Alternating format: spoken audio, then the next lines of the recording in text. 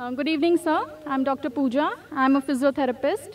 Uh, sir, during your oration, you uh, just uh, said these lines. I would just like to repeat them. Uh, you said, every person who is an extremist Muslim, the problems of the humanity will be solved. I would just like to make a correction. I'm too young to correct you, sorry for that.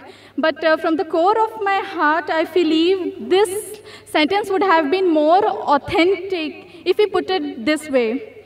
Every person who is an extremist, the problems of the humanity will be solved.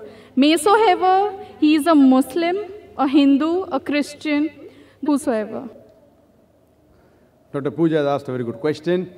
And sister, if I'm wrong, I'm ready to accept the mistake. The question and answer is meant for that. If I say by mistake 2 plus 2 is equal to 5, you have a right to correct me, it's not 5, it's 4. I'm a human being. I'm not a human computer, I'm a human being, I can make mistakes. That's the reason we have open question answer session. But, coming to your comment, I said that if everyone would have an extremist Muslim, the problem would have solved. And you corrected me by saying that if we would have said that every human being would have been an extremist, the problem would have solved. Extremist in which way? An the extremist. Way, the way you said. Yes. Extremist, the way you said, to be extremely kind, extremely lovable. Sister, if you heard my talk, I said an extremist Muslim is a person who is extremely kind, extremely merciful, extremely loving, extremely honest, extremely just. Otherwise, they can be an extremist robber who wants to rob. They can be an extremist rapist. So if I just say extremist, the problem will be solved, the rapist will be happy with me. They say I'm an extremist rapist, you know. So sister, if you translate the full into English, you'll understand more correctly. What I meant was that if every human being becomes an extremist Muslim means if every human being becomes an extremist, peaceful person, submitting his will to God, then the problems of humanity will be solved. Now, because I use the Arabic word, it does not go down the throats of many people. I'm not talking about you, sister. No, no, no. I'm talking about the media. When I say Islam, Muslim, it doesn't go down the throat. So I would like to rephrase the question for the benefit of the non-Muslims. If every human being becomes an extremely peaceful person, submitting his will to Almighty God, the problems of humanity will be solved. Maysoever he is Muslim, Hindu, or Christian. Because if you say, may so ever he be a Muslim, if he submits his will to Almighty God, he has to be a Muslim. And if a And- Hindu submits to God, he is not Very acceptable good. by God. No, no, no. not like that. Yes, sister, wait, let me. You ask a second question, I give a second answer. No, sir. You are perfectly right. What's the definition of the word Hindu, sister? Hindu is a geographical definition, meaning those people living in the land of India. In that definition, I'm a Hindu, sister. I'm a Hindu Muslim by geographical definition. But this word Hindu was first used by the Arabs when they came to India. When I go to Saudi Arabia, they say Hindi, Hindi, Hindu. You know? So this Hindu actually is a geographical definition, but today it is used as a misnomer to describe as a religion. According to Swami Vivekananda, he says that the followers should actually be called as Vedantist because they follow the Vedas. So Hindu is a misnomer. You ask any scholar. So if you say, can a Hindu be a Muslim? Geographical definition, I am a Hindu, I am living in India, I submit my will to God, I am a peaceful person. But everyone, but, but sister, even the Americans can be good. Even the English can be good. If I say everyone in the world should live in India, as it is, there is population. As it is, more than like million people. reframe my question, Sister, sir. please let me complete the answer. You asked a question, I'm giving the answer. You asked a question, I'm giving the answer. We'll give you a second chance, no problem, sister. Surely. But at least let me clarify. Therefore, the words that you use, you should understand the meaning of the word. If every human being should live in India, then the Indian government will have a problem. As it is, they say, hum do, hamare do, ek ke baad abhi nahi, do ke baad kabhi nahi. They're talking about family planning. We too and our too. हम तो हमारे दो एक के बाद, अभी नहीं, दो के बाद कभी नहीं।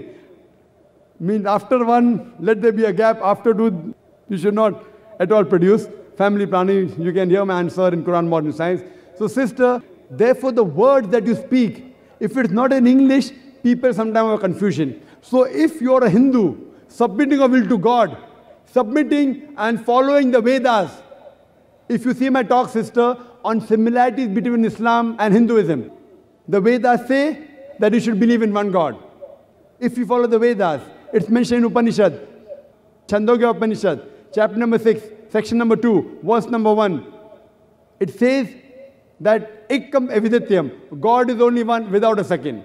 It's mentioned in the Veda, Yajurveda, chapter number 32, verse number 3. Na tasripatamasti. Of that God, there is no pratima. Pratima means image, statue, sculpture, photograph. Of that Almighty God, according to Veda, there are no images, there are no photographs, there are no sculptures, there are no statues. If you are such a Hindu, it's mentioned in the Veda of another messenger to come, the final messenger, whose name is Prophet Muhammad, peace be upon him. He is prophesied in the Kalki Avatar, chapter number 2, verse number 5, verse number 7, verse number 9, verse number 11, verse number 15, that this Kalki Avatar, he will be born in the city of peace, that is Makkah. His father's name shall be Vishnu, Yas, servant of God, translated Abdullah, which was the name of the Prophet Muhammad Sallallahu father. His mother's name shall be Sumati, means peaceful, serenity. In Arabic, it's Amina, which was the name of Prophet Muhammad Sallallahu mother.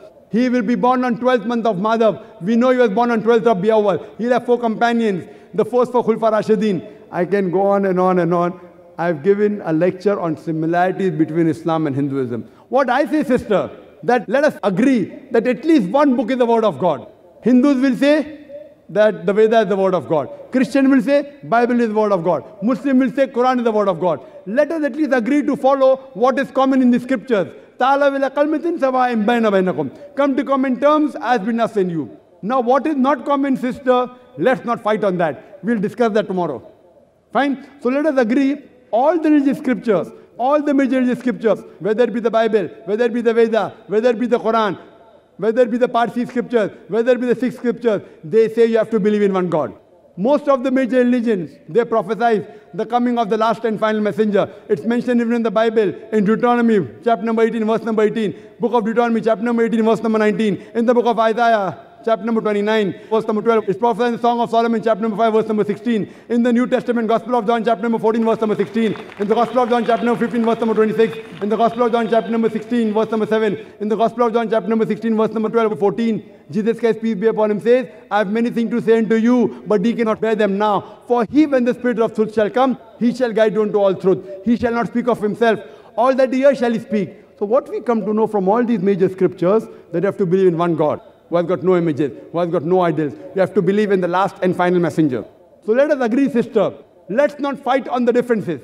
Let's agree to follow what is common in the Hindu scriptures, in the Parsi scriptures, in the Christian scriptures. You're talking Hindu, Muslim. I'm talking about Parsiism. I'm talking about Islam. Let us agree to follow what's common. And inshallah, all the human beings who believe in God, they'll have to agree there's one God who has got no images, who has got no statues, and have to believe that one last and final messenger has to come, whose name is Prophet Muhammad, peace be upon him. Then we will have every human being should be an extremely peaceful person, submitting his will to Almighty God.